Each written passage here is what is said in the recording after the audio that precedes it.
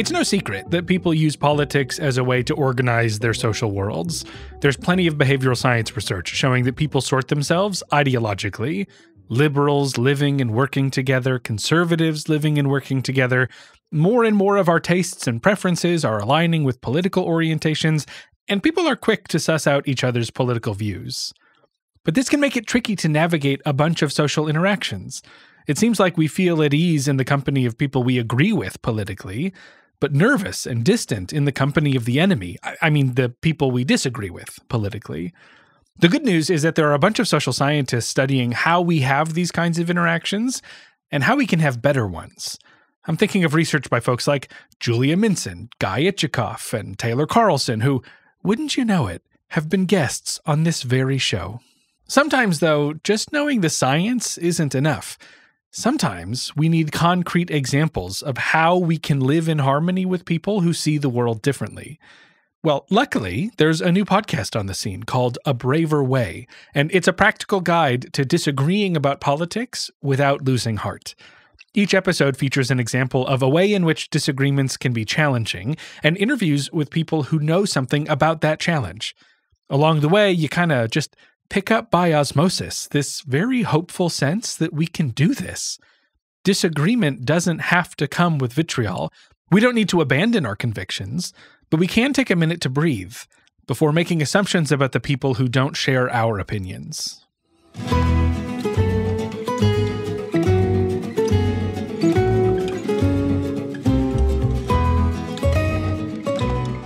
You're listening to Opinion Science, the show about our opinions, where they come from, and what we do with them.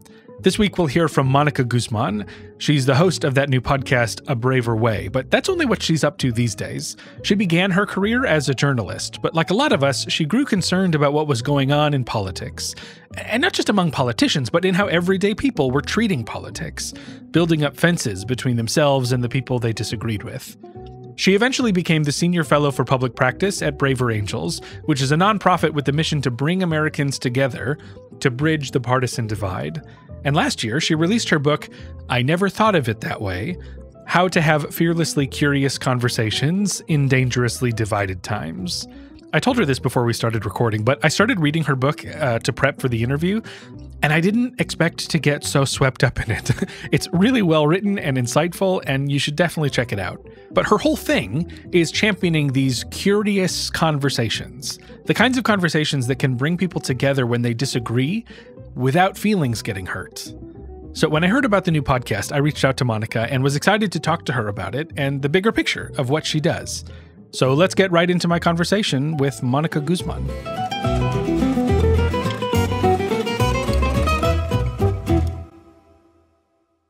I thought maybe as a way of of getting into the just general idea of having curious conversations, we could start with like, why would we want to do that?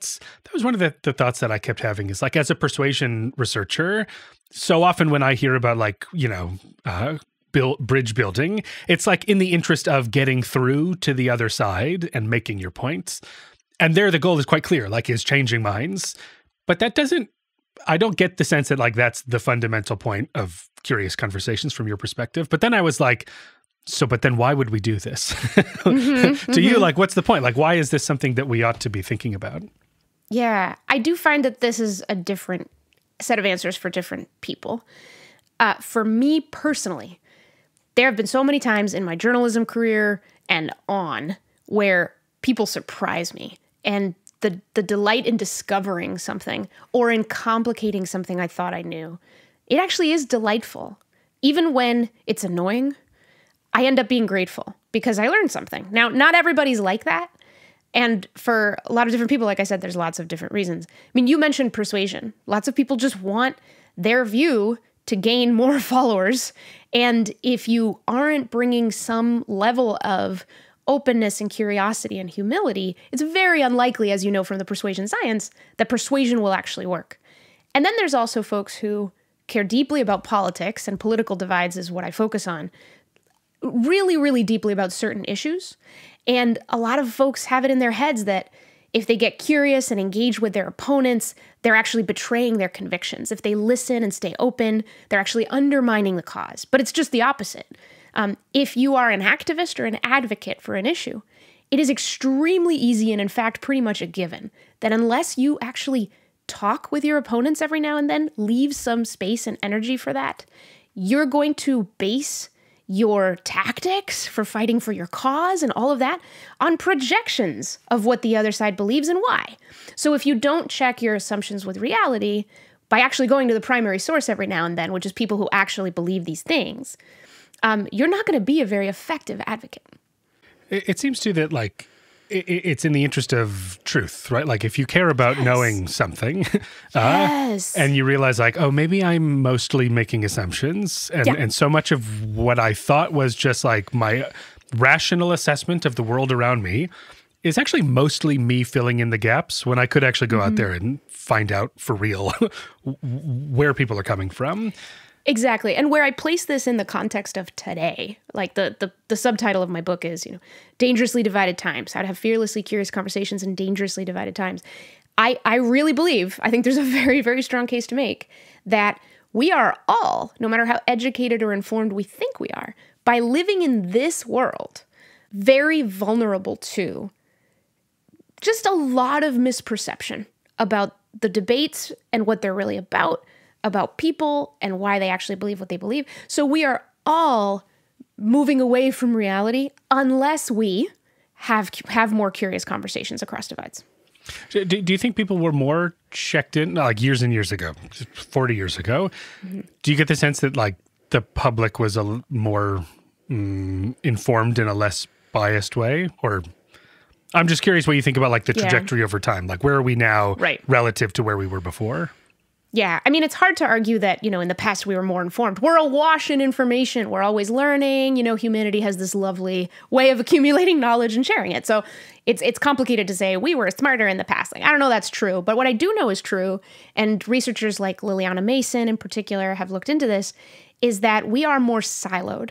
So the different the differences between us are really aligning, right? So that if you are a Democrat and a person of color and you are secular, you know, you're all those identities tend to stack one on top of the other more often than they used to. 40 years ago, there were more liberal Republicans, right? And conservative Democrats. Uh, and we also just had more more mixing of of in certain kinds of spaces uh, of different sorts of people and so i think there was this organic web of difference that was just a little more entrenched um, now of course we have technology we have the pandemic that got a lot of us to be really comfortable working from home. We have less serendipitous connections and fewer collisions in our daily lives where with different kinds of people in the context of sort of in-person interaction where you can really see people's whole self and humanity and everything and they're not just a walking opinion on twitter. So all of these things i think combine to make this a particularly pernicious time for hacking our psychology which as we know a lot of the tech platforms are brilliant at. And i'll i'll, I'll put myself in that bucket. I mean i i once wrote a blog for a seattle news organization where my entire job was to get as many clicks as i could. And it was a trend following blog and i got really good at it. Really good. I could hop to the top of google trends by knowing what words to put in my headline. So is that you know it's that's just kind of overwhelmed us quite a bit. And um, there's a lot of dopamine and a lot of pleasure to get from being surrounded by voices that affirm you. So we have to fight a little harder to make sure that we're not just in those pools and nothing else.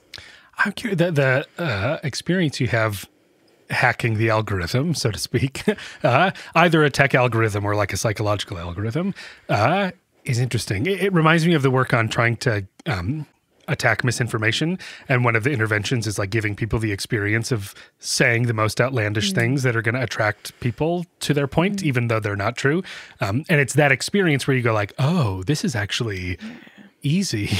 yeah it's not hard at all Yeah, and like I can see those tricks when they come up. Uh, So I'm curious, like, is there anything else about your experience as a journalist that is informing the way you think about kind of the nature of these conversations today and and how we mm. can have them better? I mean, there's there's a lot. I mentioned just the the interviews that I that I've had. How many times I came to a story, came to an interview, a subject. You know, you're just a subject looking for a quote I know what the story is. I just need a quote. But okay, my editor made me come over here and sit down with you. And then you listen to people and oh my gosh, like the truth is so much more interesting and complicated and different than what I thought. And then I'm reminded of that obligation. I'm not here to be quick about it. I'm here to try to accurately and responsibly represent someone's story to their community so that the community can be informed about itself. Because how the heck are you going to have a healthy democratic society without that? So, yes, I think that people understanding each other is an extraordinarily critical ingredient to a good, you know, what we call democracy. It's really, really important, but we we don't name that ingredient hardly ever. People understanding each other. Really important when there's so many differences and so many potential conflicts. I mean, I think of um, all the movies you know I've ever seen where so many times the the problem is a misunderstanding. So many times the main conflict is that someone's not understood, right? So we know this. We know this about human nature. And the tragedy of that is, well, understanding is not that hard. It just requires a proximity that we usually want to avoid.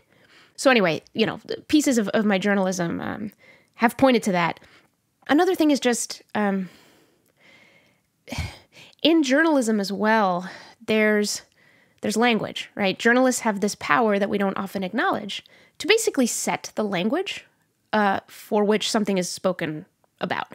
Now, we used to have more of that power exclusively before social media and all those things came up. Now it's sometimes social media makes the language and journalists either accept or reject. But because everything's moving so fast, it was interesting for me to to acknowledge and experience as a journalist the power of my language. So, I was a tech uh, you know, columnist for a while and I remember the phrase, you know, ride sharing platform you know, Uber and and all these places are ride sharing platforms. We're just sharing our rides, you guys. That's all we're doing. we're just like me and my car, I could just share my ride. But, you know, when you looked at how the deep regulatory thing that was happening with taxi cabs and with regulation from cities and should they be regulated? Well, no, because it's just a ride sharing platform. It's of the community. No, come on. these platforms are making such a buck, right? So there's all these there's all these times where I've caught myself being like, "Oh, wow, I use that term." And I say that because in politics, my, my gosh, like different groups speak completely different languages and one word or term, illegal immigrant, will set the left off, right? But white privilege will set the right off. And what is meant, and can we understand, and can we look behind the language? So, this is another thing that I've become extremely conscientious of as a journalist is the power of language um, and how, how it can get in the way. The words can get in the way of human understanding.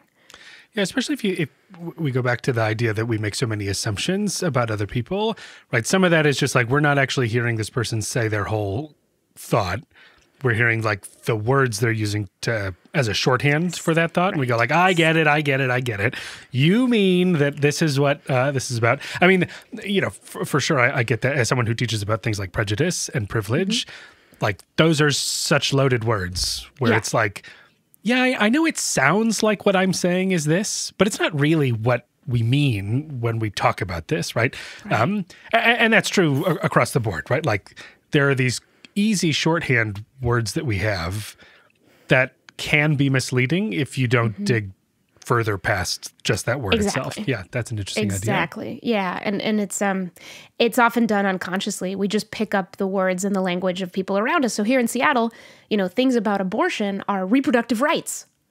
But go into a conservative community and reproductive rights does not get to what they think the issue is.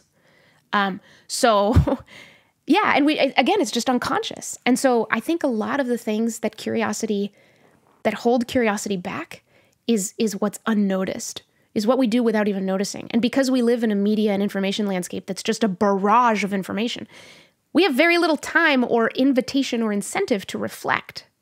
We just react. What that means i think is that we're absorbing unconscious beliefs at a breakneck pace You know what I mean? and we don't, we don't even notice. Like I'll, I'll look through my Instagram feed, right, for a minute, and then I'll put it down to do something else, and I'll be in a bad mood, and I don't know why. What the heck did I see that made me suddenly? I don't know. It's just, but it's in there now. okay, I don't know what it was. Um, we all, I think, a lot of us have that experience. So, so when we're when we're faced with this challenge of a world where this is the dilemma of differences of perspective and assumptions that we make. I'm curious to, to dig in at just a little bit, at least, into like what what are some things that that you would suggest people do to actually have these kinds of productive conversations with people that they would ordinarily write off. Right. Well, let's start with the simplest possible thing because a lot of folks say, I'm not ready to have a conversation. They'll often think about the hardest possible topic or the hardest possible person, which don't do that, first of all, right? You can have far easier conversations with someone who's a good friend and you just disagree on this one thing and you haven't brought it up. Well, you know, you could try that. But even before that, if even that seems scary, then when you are reading headlines, whether it's social media or anywhere else, and you come across a headline that represents a perspective that's popularly held, but something you really disagree with, then here's the practice. You open that article, and instead of reading it looking for ammo or affirmation, you read it asking yourself, what are the deep down honest concerns informing this perspective? And you also might ask yourself, what is the strongest argument for this side? How could I articulate the argument so that someone on this side would go, yes, exactly? So these are hard things to do, but at least you're only talking with yourself and with the article as a sort of artifact, right? Um, and so you practice curiosity just by asking yourself that question, like, hmm, you know, where where might this be coming from? And how could I express it generously? And your brain, by doing that exercise, will already start to notice the assumptions it might be making and the the, the, the gates, the barriers that it puts up toward understanding something that you frankly just don't want to understand. You're resisting it because you don't like it. We all do that. So I think that's a really essential step, um, especially on topics that you feel like there can be nothing good here. And I, maybe you're right. Okay, you know, we, we I don't know, but but it's um it's really important to ask yourself, what am I missing? If there's a lot of people that are looking at things a different way, and they're my fellow citizens or whatever, like what am I missing? Can I can I look at it through their eyes, not so that I agree, but so that I understand.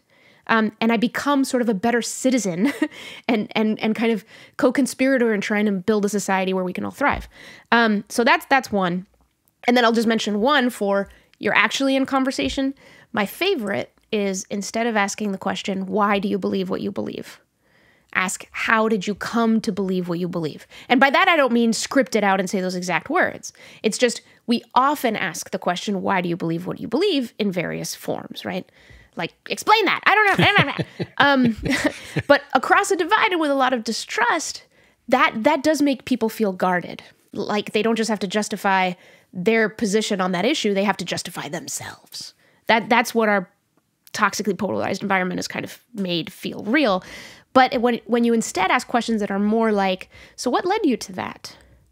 Can you can you tell me more about you know, any personal experiences that impacted you on this? Do you know anyone impacted by this? Now you're talking. Now that person is sharing anecdotes, stories, not arguments. And this is good because you get to relate. And when you when you relate, it's a lot harder for you to judge out of hand or sort of recklessly react, you know, to, to, to some emotion you have built up about an argument. And instead you're like, you're imagining being this person. Um, and that really changes things. And there's a lot of study in science about about that and how, you know, hearing, for example, about somebody's moral beliefs in the form of personal stories, people end up respecting those a lot more than they would if they heard them as just like logical arguments. And and again, I want to I want to emphasize if there's a lot of trust and not a lot of suspicion, debate to your heart's content, insult each other, have fun, banter. You know, it's great. It's really really great. And boy, would I like to get back to a time in our culture where we can do that more, but not right now. You know, for a lot of people not right now. For some relationships, totally. Have at it. Um, but but you usually have to have a pretty strong relationship um, and enough practice disagreeing civilly, frankly. It's reminding me. I don't want to jump the gun too much. But we, I promise we'll come to the new podcast in a little bit. But I I couldn't help but recall the moment about uh, Lincoln and Douglas and this like pattern of debate. Obviously, like they had a professional relationship built on debate, and yet like there are these moments of humanity where it was so obvious that like oh uh, Lincoln couldn't find a place to put his hat, and Douglas was like, "Oh yeah, I'll hold on to it. Like, what's the big deal?" we're both we're both living in this world trying to do the best that we can. And that was a very powerful moment to be like, oh yeah, like you can have diametrically opposed ideas about what the right answer to a question is Yeah. and still recognize each other's humanity. Yeah, I absolutely love that story. And Ron C. White, who's the leading Lincoln scholar that we interviewed for that episode, he he like got pretty emotional talking about that story, um, because I, think he sees the power of it too. T- today, we just imagine that if you are bitter rivals in politics, you can't possibly you can't possibly want to be even close to each other. And unfortunately, recently we've had you know pretty bad models uh, of that. So just the idea of sitting you know at an inauguration where the man who defeated you is giving his inaugural address. And he's got his address and he's got his hat and he's got his cane and needs to put things down. And so you go, I've got that, sir. You can hand that to me. Oh my God. it's just what? But I will say, I mean, I, having um, taken a deep dive into Lincoln, you know, for that episode and, and beyond, like, boy, did we luck out with that man at that time. boy. Yeah, yeah. And, and Yeah. it- the other thing, it, it, it just feels so foreign to the politics that we have right now, and, and in a way where you know you hear stories about like, oh, behind the scenes, like you know, not too long ago. There was plenty of people that are just like, well, our kids go to the same school. Like, it doesn't really matter what the label on my pin says. Like, we're still working in the same building, and like we can figure out a way to get along. It just seems like we've it, we put that on display so much, and there's like this kind of like like Jerry Springer audience vibe to the whole like political uh, system that it's just like oh like they're just playing to the room kind of Yeah, by like yeah. being mean to each other. Yeah, absolutely. And it makes me think of, you know, something else that's really changed is even back in the era of, you know, TV, uh, like it was all TV where the cameras were on, right? Politicians have to perform. They do. They have to perform. They are symbols in a lot of ways and people expect something of them. So they perform. They perform their debates, they perform their beliefs. All right, fine. But then the cameras are off and then they live their lives and then they talk to their colleagues across the aisle and everything's fine. In the social media era, you know, being on camera is now all the effing time. And so the performance feels like it has to be all the time. And that's really too bad. Now, I, I will say a hopeful note. A couple weeks ago, I was at a conference where Michelle Obama was speaking, and she was talking about there's sort of a famous friendship that's developed between her and George W. Bush. And uh, she was saying that, frankly, the reason that happened, and, and this is funny, is because again, it's about proximity we tend to avoid, is that in a lot of uh, official events where formers come, former presidents and their wives, or you know, um, partners, uh, they they have to sit in a certain order. It's like the former president and and and that first lady, and then the next former. So that means that Michelle Obama and George W. Bush are always next to each other. And so she said, really, it started with that. You know, we would just, we'd be at a funeral, we'd be at some ceremonial thing. And, and like, hi, how you doing? You know, and he's just got such good humor. And so that's where it started. And I love that idea of sort of a ritualistic ceremony where you have to have, you know, the president and wife next to the former president and wife was what, what developed that. It reminds me there's this this old study from back in the 50s in social psychology uh, where they looked at like who becomes friends in a dorm building on campus. And it's like one of the best predictors is how far away are your dorm rooms from each other. Uh, Exactly. it's just It's a simple that simple. proximity effect, right? Like well, you like each other is. more if you see each other more. That's Uh, it. Yeah, yeah. And It's it- it- just that simple. similarly um, on this show this is now a couple of years ago i was talking to someone who did this analysis in india of this um, slum relocation project where they sort of built these apartment buildings and brought people together who had been living elsewhere and it was a random lottery like where you end up in this place. And it was a they, she was able to find that like it helped address intercaste prejudices based on just like I mm. random my neighbor now randomly or like the people on my floor now randomly are from a different group as me.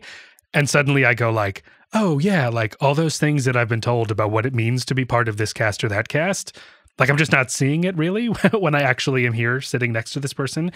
And so you know by to bring it back to to the stuff that you do like getting people to talk may be like as simple as being like you're just here together and it might not even be about what you're talking about just the fact that you're like oh yeah you're a person Yeah. and i can only recognize that by actually having this interpersonal interaction Exactly. We've recognized that at Braver Angels. So this is a nonprofit that um, that I'm at, and we work on all kinds of program skills building exercises, but but about bridging the political divide.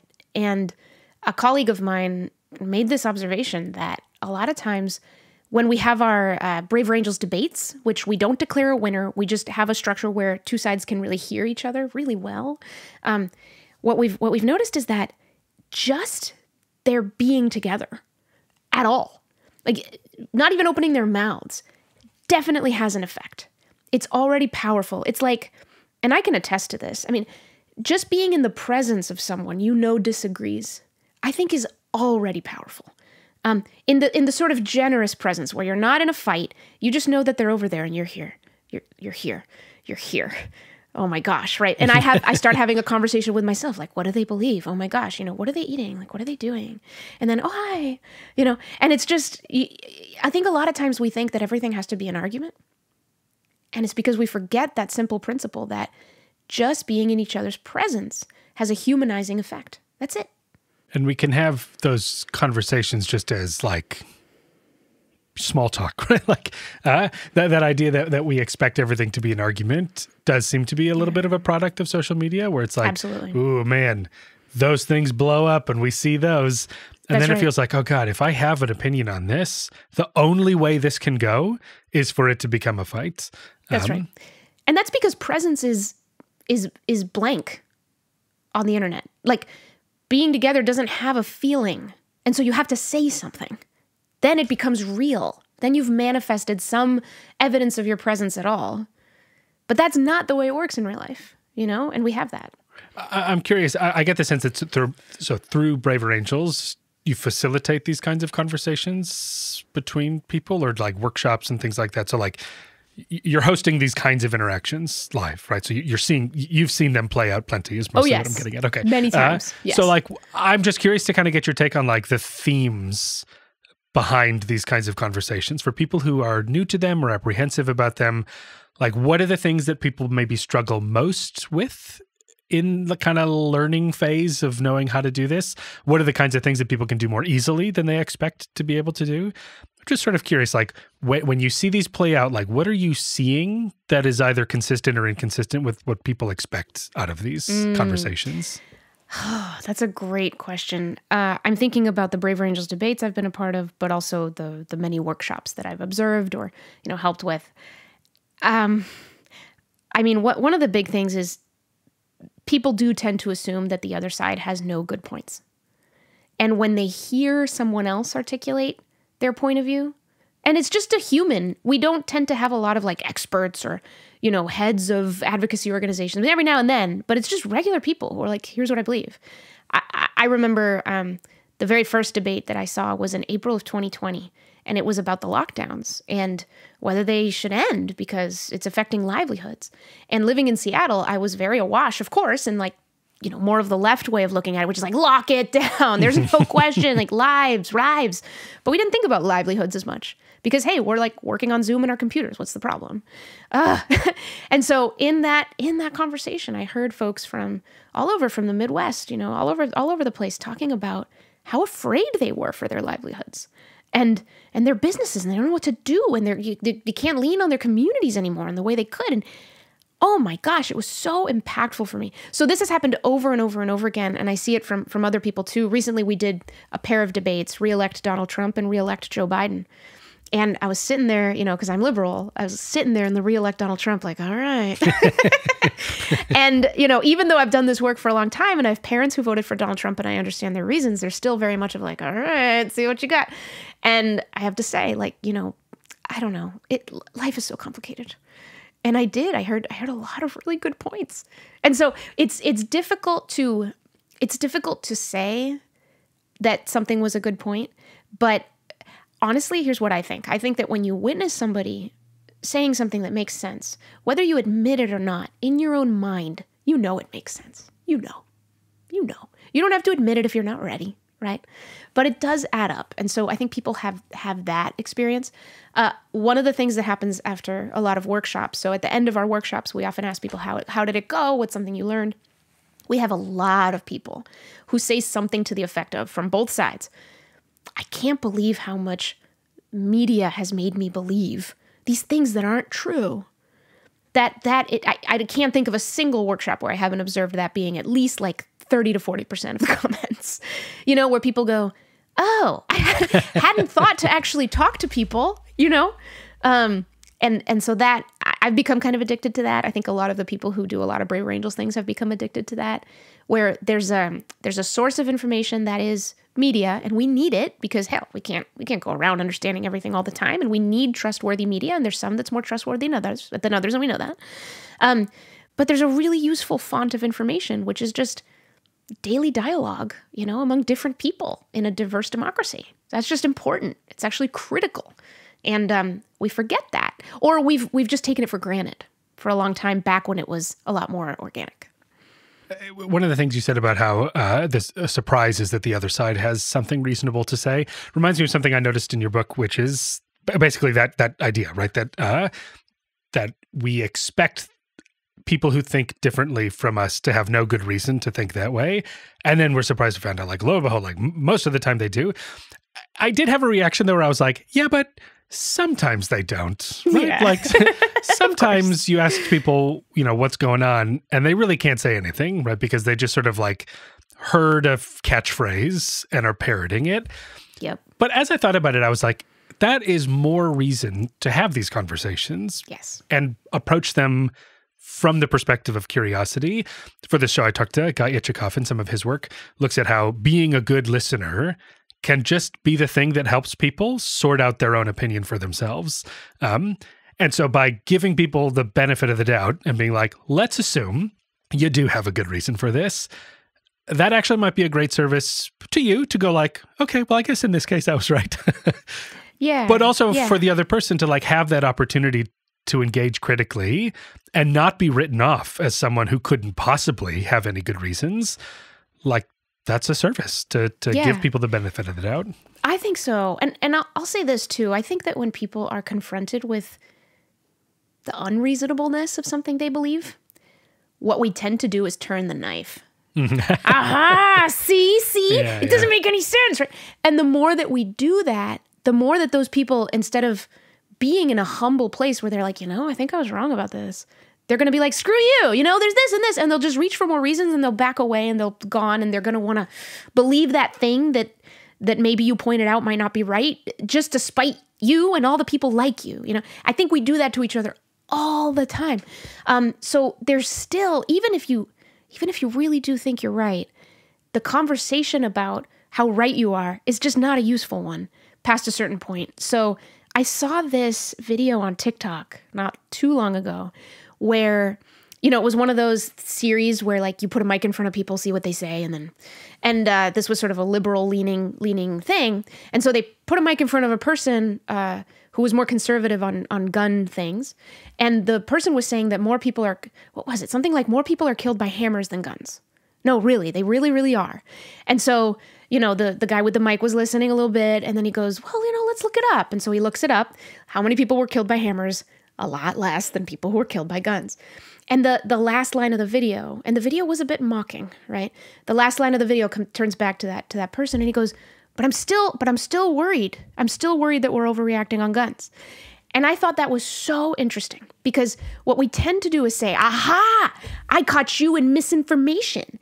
You're lying about this. You were wrong about this." And then and then as if to say, "So you're wrong about everything. so your point of view has no validity at all." But like that last line, the man was like, "But I'm still concerned." You know, so so our concerns, I think, guide a lot of times the data points that we want to glom onto, you know, or make us vulnerable to believing things that aren't really believable. But it's because they address our concern. And so what really needs to be heard is the concern. The concern is true. The concern is real. Talk about the concern. Because if you don't, people will continue to feel unheard, unheard, unheard, and they're going to just you know, we're all going to spiral away from each other toward whatever. I mean, this is a complicated world. You know, like I grew up Catholic. I remember my my mom, you know, just making the point that like you can pull anything out of the Bible to argue anything at all. It's a big book. You know, it's it's really really big and complicated. So um, the same with our world. It's like you know we we lord facts over each other, but it's like it's a complicated world. Listen to the concerns. Th- that's what's leading people to want to grab on to certain facts or believe facts that aren't real. I have a lot of ambivalence about these gotcha videos that you're talking about. And Yeah. uh, I'm a real sucker for them. And TikTok has learned this because there is like, you know, there's a quiet vindication of being like, see, they don't know what they're talking about. But I, they also sort of terrify me because I'm, I do think like, if someone caught me in the same sort of situation and pressed me really hard on something that I actually think is probably true and valid, I might flounder in that moment. I might not be able to perfectly articulate uh, where that comes from.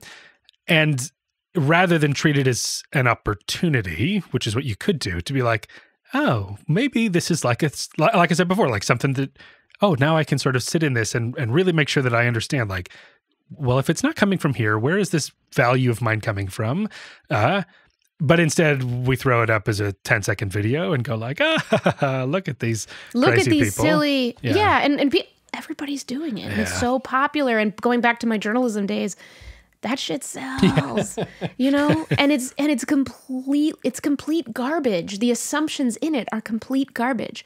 If you catch someone in a wrong fact, or you can get them in a gotcha, you don't have to listen to them anymore. What? What? What is that? You know, as if it's all about just, you know, whack a mole. Well, yeah, it's whack a mole with arguments, right? but it's like, not, you don't make any progress unless you listen to the meaning underneath. Um, and we have to do that. One thing I, I want to mention too that I know that you've talked about before is a question that's come up as I think about the power or need for these kinds of conversations, which is are they always the best thing to do? I, I remember talking to a friend once about this kind of work that I was doing on interactions, and I was kind of pitching this as like, isn't it always the best to like approach with curiosity and learning everything? And she was kind of like, yeah, but like, do you always owe it to everyone to like respect their views? And are there times where you'd go like, if you're being oppressed by someone, it, do you really is it your responsibility to approach that person and say like with compassion like let's have this uh, conversation so, so i'm just curious like what does that mean to you how do you navigate this like Yeah. when are these conversations are they always called for or maybe are they not necessarily that Yeah. Well, I, I like that you use the word responsibility. Am I responsible for?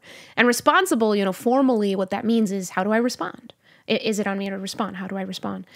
I, I really do think that, you know, any attempts to make a universal prescription on this are just flawed. Uh, there is no such thing. There, there's no universal script. And no, I don't think that we have, we all have the obligation at all times to approach all conversations in this same way.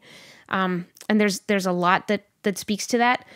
I mean, sometimes if, if you're not, if you are really, really scared, you know, and you feel a sense of threat just approaching a person who believes a certain thing, that's not going to be a great conversation. Like fear is, fear is powerful and, um, you know, definitely kind of antagonistic to curiosity because you can't wonder about something you think is out to get you. You know, what I will say is that it can be easy to conflate, you know, discomfort and danger. And so I think it's really important for us to not stop trying to discern the difference between danger and discomfort. Um, but but there are people who who will say, you know, it I, I am always being harmed, uh, you know, because of who I am in a conversation with a certain person about a certain thing. That's just going to be harmful for me every single time. And you know, okay, like, like great on that issue, great. But I'll bet there's another issue where that's not the case. And people are more than an opinion on one thing. So, is it possible to still perhaps, I don't know, bake cookies at the school bake sale with this person? Is it still possible to, I don't know, like whatever, just be at the baseball game with this person and share your popcorn? I- i- Is, it possible? Now, you may not want to, and that's okay. I remember, um, oh, this guy named Chris Singleton, who's really extraordinary. His mother was killed in the um, uh, the the massacre at um, Emanuel Church. You know where nine people were killed by like a white supremacist. It's awful, and um, he kind of became famous very quickly because he forgave that killer really soon. So he goes around and, and talks about forgiveness and these things. And he was he was saying that, you know, he he bought a house, he lives in the south somewhere. He bought a house and there's a neighbor of his and got a chance to go and like check out this neighbor and he's black. Um, and his neighbor's white and his neighbor's going around his house showing him things and he points to like this chandelier and he goes oh yeah like this was the this was the slave owner's chandelier. You know and and like chris could tell this guy had some views that not great and so chris chris told told the crowd you know he said like i can love him but i can love him from a distance one of the things I really love in the book uh, is this idea that we don't choose our opinions.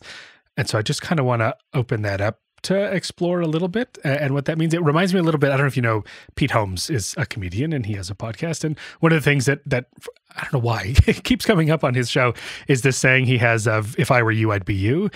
And it's that idea that like, yeah, like we yeah. might disagree, but if I were you, I'd be you. Like yes. you are you because you've done all the things you've done, and I'm yes. not that person. And I kind of need to acknowledge, like, oh, you yeah. arrived at this through the same process by which I arrived at who I am today. And it kind of reminded me of this idea. We don't choose our opinions. Our, our opinions are a natural product of our experiences, thoughts, and beliefs. And so, what does that mean to you? And what does that mean about how we get along with each other? Yeah. Yeah. I mean, as you were saying that, I was reminded of there's a line in the introduction to the book that I almost didn't write. Um, even though it's true and kind of profound. But but I talked about my parents, you know, who voted for Trump and and me who didn't in our conversations and I said, you know, what I learned from our conversation was if I were them, I would have voted for Trump too. And it's that exact same principle. If I were them, I would have been them. And now that I know the path they have walked to their views, well, yeah, like it just it it adds up. What we do adds up. You know, we we we look at each other like we're equations that don't make sense, but we are all equations that make sense. The question is whether we see all the variables. That's it. It's literally it. So so yeah, what I think it means for how we talk about our opinions is we can't go around thinking that I can just mic drop some meme onto social media. And because it had a great impact on me, in that I saw it and I was like, yes, this is exactly the reason that I believe what I believe this meme and it's so clever and beautiful.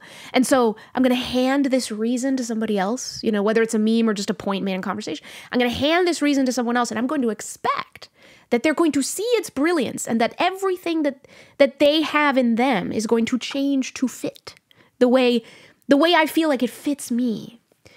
And it's so crazy. That's so ridiculous that we do that. Because what we, we do that because we think we're all the same. We're the same container and an opinion should have the same effect. A reason should have the same effect on all of us. It does not. Stop it. It does not. like, no. it's it's like we for, we just forget that we are completely different shapes of containers. And some reason is going to just mean nothing. Some reason is going to offend the other person that you really loved. They're going to throw it across the room. They're not going to want it. Um, and yet we we have these expectations of each other. And and when other people don't meet our expectations, the way they receive our opinions, well, then they must be crazy, stupid, or evil. Humph. Um, and that's that. okay, let's talk about the new show, uh, A Braver Way, right? Is that what it's mm-hmm. called? Um, it's called A Braver Way. A Braver Way, great. Uh, so let me just throw it to you, like, what is this thing? And, and, and really maybe as a story opportunity, like, why is it existing in the world now? Where did this come from? Why are you doing this? Oh man. Well, I've been doing work of bridging across the political divide for some time. I've been learning lots of stories, meeting lots of people who've suffered through it, who've made transformations in their own lives or communities by trying stuff, you know, learned a lot along the way. And I've also just gathered and I'm still gathering the skills that we need or the mindsets that we need to be able to do it, right? So it feels like the big question hanging over so many people right now is how? How? You know, how could I maybe sort of repair a relationship that's broken because of politics? How could I disagree productively with someone who believes something I think is just awful, but I still want to engage? Like, how do I engage when there's like a whole legacy of pain over over a long period of time? There's all these how, how, how, how, how. And so this podcast is is that. It is reflecting and, and trying to offer something into that question. How? So it's not it's not trying to be an intellectual thing. Uh, you know, we're, we're not trying to just bring like authors just because they wrote books on it. We, we have interviews with people who have demonstrated courage in crossing the divide and the interviews are focused on what what can we learn from what you have done that could help all of us, all us listeners in our own journeys. So that yeah, and it came about because I just think this is the question that really needs answering for a lot of people. And again, not from a sense of just the experts, you know. No, I think that what I've learned is that people have this wisdom. This is not an intelligence book learning type of thing. You don't need to be a rocket scientist. You don't need to be a sociologist. Just be a good human. Is most is the short answer is be a good human. Okay, but what does that mean? What does that look like in these difficult situations? Well, let's talk about that. You know? And so everyone has access to being a good human. So some really surprising people you've never heard of have extraordinary stories um, that that I think need to be elevated. So that's what the show's out to do. Nice. So by the time this comes out, I think the way it'll work is that the first three of yours will be out uh, at that point.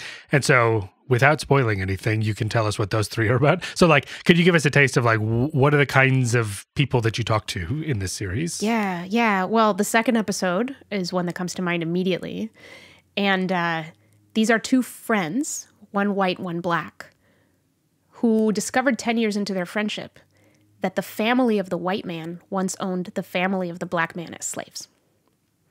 If you can imagine that moment in their friendship um, and they're both Christian conservatives.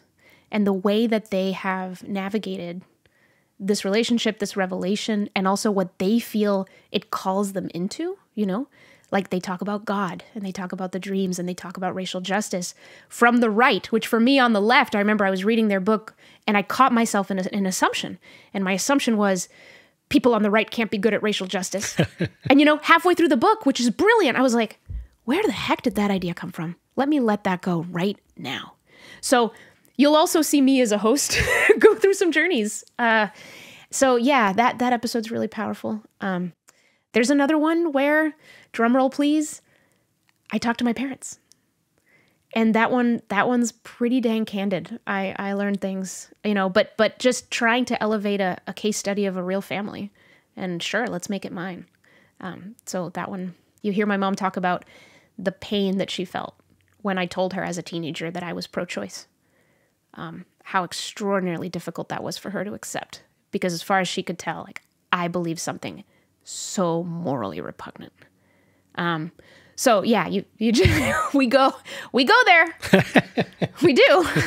is the structure always the same? So so I mentioned before that the one I listened to was on the the interview with the Lincoln scholar, and it was followed up by a conversation between you and April me. Lawson. Yeah. Yes. Who is um, my colleague at Braver Angels and the creator of Braver Angels debates. She's mm. genius, and she's also conservative, and I'm liberal.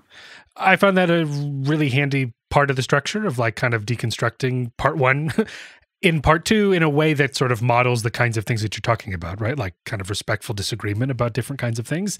Is that a feature? Is that kind of like structurally how the show is set up? That is structurally okay. how the show is set up. I think there's two episodes where we're not doing that because the interviews just need to be like longer and deeper and there's more kind of segmentation and narrative flow um, but but just about all the episodes she's there and we ask ourselves we ask each other uh, what do we think our side is good at and bad at when it comes to these strategies that came up in this episode. So she talks about the red side, I talk about the blue side, and it's really interesting. Uh, like we've, woo, like we stop recording those segments and we're like, whoa, what did we even unearth here? Uh, and then each episode also, this is in some way, in some ways my favorite part, but I don't know. I have a lot of favorite parts, but we also have this um, interview that we do with some somebody out there who has transform something about themselves or their relationships or their communities for the better because they bridge the political divide. And so that that is sourced through an hour, hour and a half interview with this person, but then we edit it down to like 5 minutes of them telling the story in their own voice. And um yeah, I mean, those are hmm, there's a couple of those that it's hard to listen to without really really feeling it. So, yeah. So that that's in every episode too. I'm I'm curious where you're finding the the subject matter to explore in each one. Seems like you I mean you've covered already and just like the few things that we've talked about like a pretty wide variety of things. And so I'm just curious like how, how do you approach producing a show like this? Yeah, well, it's been in the works for a while conceptually. Um, before you know, I fundraised a little bit and made it possible to produce. And um, really, what I wanted to do was have each episode answer a how question.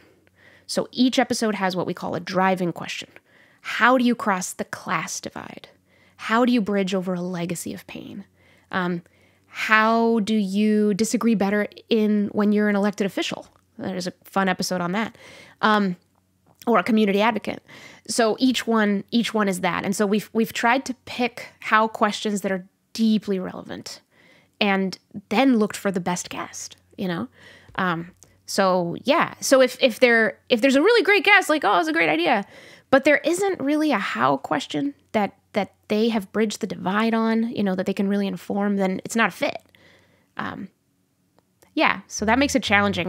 We still have we have such a giant like 150 people, right? 150 ideas, but but like 10 episodes this season, just the 10. Well, I'm I'm very much looking forward to to listening to the rest of them, and just want to say thanks so much for taking the time to talk about all this.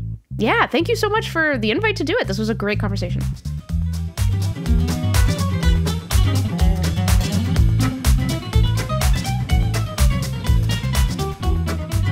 That'll do it for another episode of Opinion Science. Big thank you to Monica Guzman for taking the time to talk.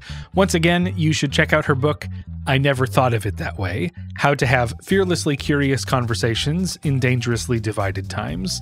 And her new podcast is called A Braver Way. It launched a couple weeks ago with the first three episodes, and if you're listening to this on the day it comes out, the next Braver Way episode comes out tomorrow. I- have listened to all three that have come out so far, and I really enjoyed them, especially the one where she talks with her parents. It's so good. Okay, but while you're listening to Monica's new show, don't you dare forget about this one. Make sure you're subscribed to Opinion Science on all the podcast places. Hop on to Apple Podcasts or wherever to leave a nice review of the show, and go to opinionsciencepodcast.com for all the past episodes and other goodies. That's all for now, I think. So thanks for being here, and I'll see you in a couple weeks for more Opinion Science. Bye bye.